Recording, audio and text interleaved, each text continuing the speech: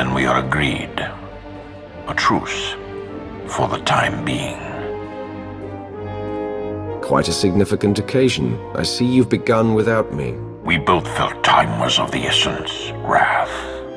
Satele Shan, Grand Master of the Jedi Order. Your intervention allowed us to defend ourselves against the Revanite fleet. Many thousands owe their lives to your actions. And the all-encompassing rot of the Order of Revan has been excised from our fleets. Now, we turn to the matter of Revan himself. My agent here has discovered that Revan's on the fourth moon of Yavin, where he believes the last spark of the Sith Emperor resides. Revan intends to return the Emperor from the brink of death, so he may finally be destroyed. I am his wrath. I will not allow that to happen. You know as well as I that he is not the being he once was. The Emperor now hungers for the end of life itself. He would consume us all, starting with you. In resurrecting the Emperor, Revan believes he will succeed where others have failed. But the Emperor will prove far too powerful for Revan or anyone else. Darth Marr and I will be leading a joint strike force on Yavin 4 to put an end to Revan's plan. I hope you'll join us. As do I. For the Empire and for the galaxy.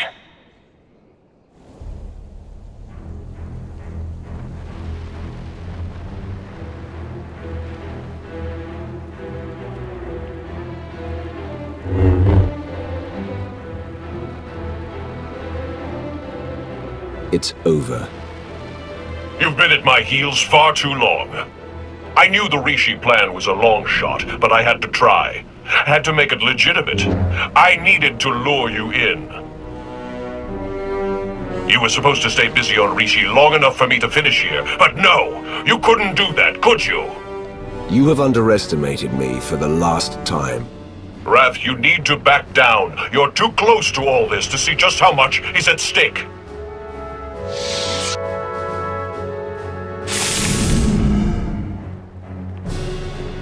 I spent 300 years in lockstep with the Emperor's mind. I know what he's become, what he wants.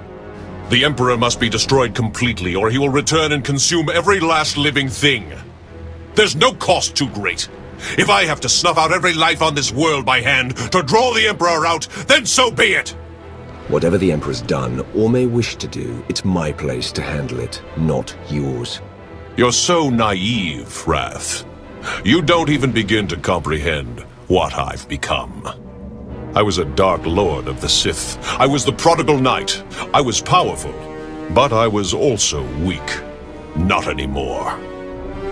Now I'm pure, unburdened. I can finally have revenge on my jailer and save the galaxy doing it.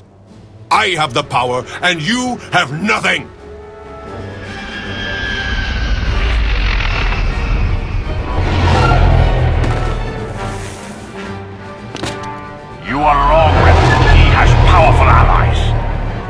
Both Sith and Jedi.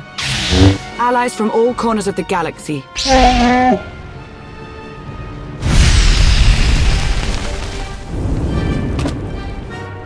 Shae, Vizla? Heard the fight to end all fights was going down. What sorry kind of Mando would I be if I missed out? You were saying? I don't care how many of you there are. I won't be denied my destiny.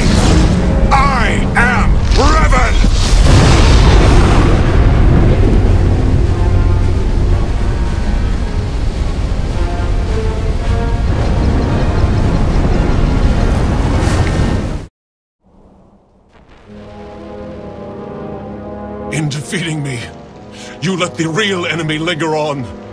You... you doom the galaxy! Say what you will about the Emperor. You're the one presenting a threat right now. He's right, you know. No, not you.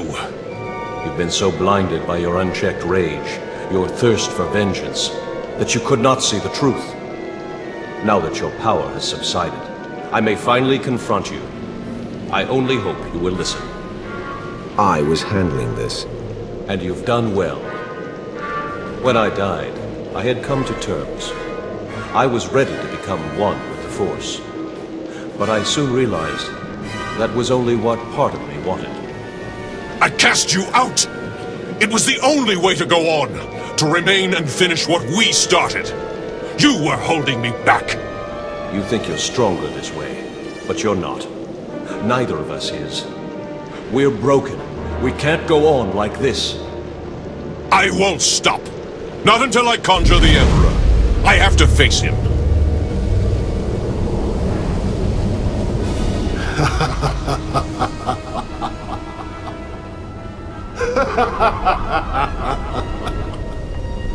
You wanted my return. You did not need to destroy whole fleets or turn a living world barren for that. You only had to point the Empire and Republic to a shared adversary and let them do what they do naturally. Make war. The scores of dead have nourished me. I am awakened, and I bring with me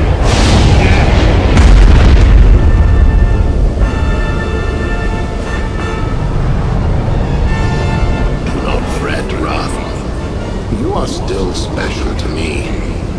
That is why I will kill you last.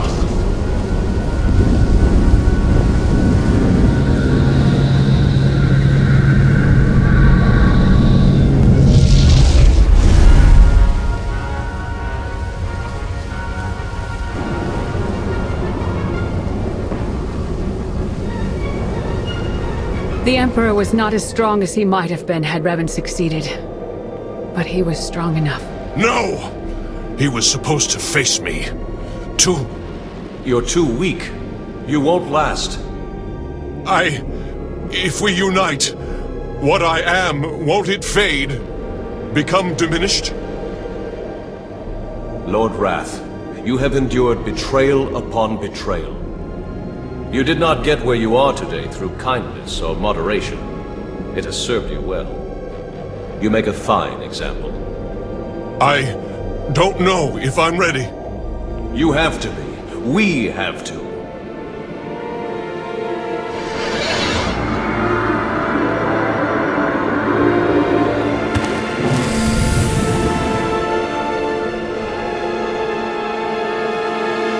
You are once again complete.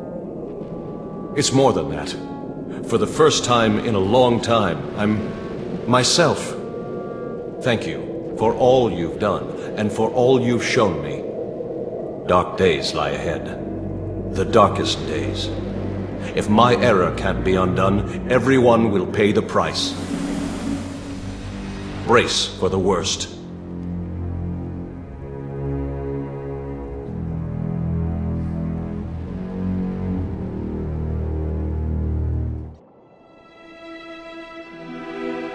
So I guess this is goodbye. I suppose so. It's been an experience, Theron. Be well to yourself. Yeah. Yeah, you too, Lana. Try not to get into too much trouble, alright? It looks like you're finally getting rid of me. How's it feel? Just leave. You... I don't know why I expected you to be civil. Have a great life there, Emperor's Wrath. Right up to when you become your master's food. And then there were two. And then there were two. It's a wonder we're even here, considering all we've had to endure. When I was advisor to Darth Arkous, I would never have imagined any of this. Your service to the Empire won't be overlooked. No, it won't. It hasn't. Darth Marr has taken notice of my accomplishments. It would seem he has plans for my future. What those plans look like, I can't say.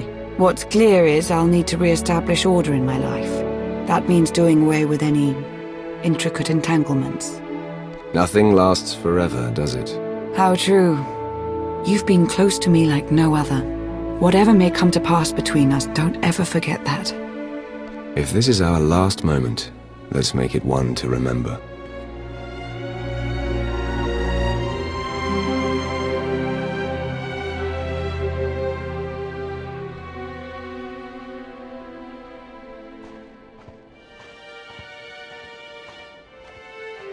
Next time you got a fight that juicy, you know how to reach me.